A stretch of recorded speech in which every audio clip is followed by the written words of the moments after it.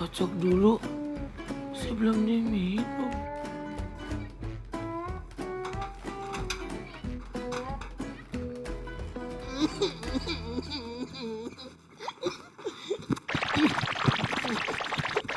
Mm-hmm.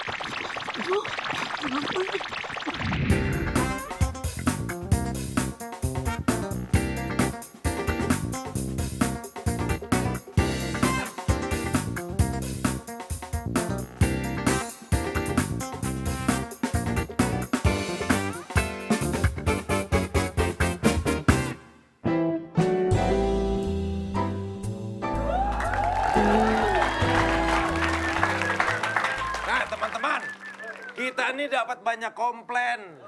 Nih, komplain-komplain yang udah masuk.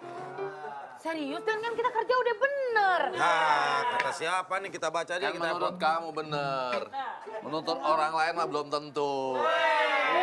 Jadi jangan menuruti diri sendiri lah. Ini mah nggak ada komplain buat gue nih. Ah, serius? Lah yakin bener loh. Coba kita lihat yuk. Lah gue bawa ambulan mah tinggal lurus doang, apa salahnya? Apa? Lu tiap bawa ambulan ngebut-ngebut sampai tuh jenazahnya kaget-kaget. Kan udah meninggal. Den. Iya, serem ya ya. tetap ada ininya, cara-caranya bawa ambulan nih. Komplain yang pertama buat siapa nih? Nih komplain tuh dari Ibu Michelle. Dia pernah berobat di sini komplainnya setiap Denny lewat hati ini selalu berdebar-debar. Enggak, gua tuh gua maksudnya gua suka gombal-gombalin semuanya. Itu salah satu bentuk pelayanan gue. Bagaimana kita membuat pasien semua yang ada di sini tuh nyaman. Salahnya dia cewek, nyaman dikit sayang.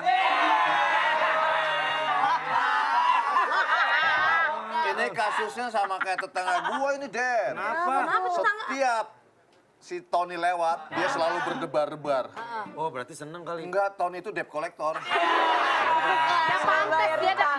Nih, Iya. gue berarti nggak salah ya. Ini gue nggak salah.